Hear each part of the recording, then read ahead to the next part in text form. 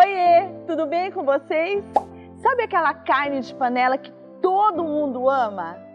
Hoje, nesse vídeo, eu vou ensinar a vocês a fazer uma carne de panela à moda húngara, feito com especiarias perfumadas e marcantes. Começando, um, dois, três e... Já!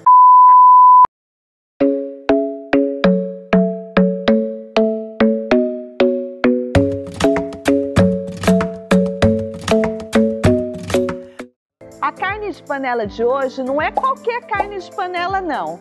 É uma carne de panela que é uma receita e especialidade da Hungria. É o goulash, com muita páprica doce. Primeiro, vamos temperar a carne.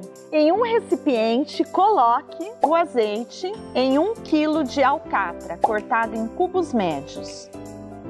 Sal e pimenta a gosto, mexer bem e deixe repousando por mais ou menos 30 minutos. Em seguida, em uma panela de pressão, aqueça o azeite, a carne reservada e temperada, sele bem em todos os lados, acrescente cebolas picadas, vinho tinto, extrato de tomate, páprica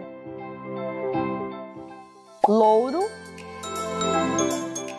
cominho, água e farinha de mandioca. Acrescente essa mistura na panela de pressão e leve para cozinhar até que a carne fique cozida por mais ou menos de 20 a 30 minutos. Cuidado, hein, para não cozinhar demais.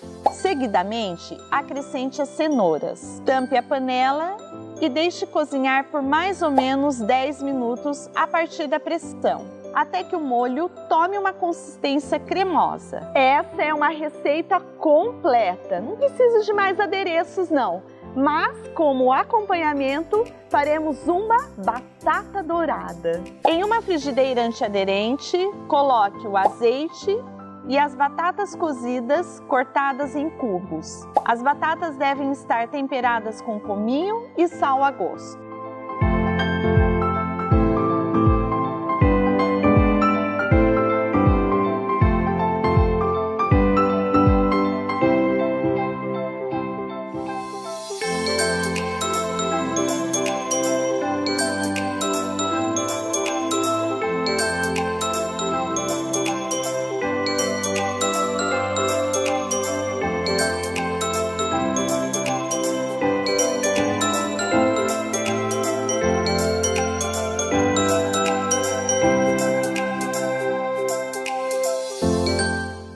E aí, gostou?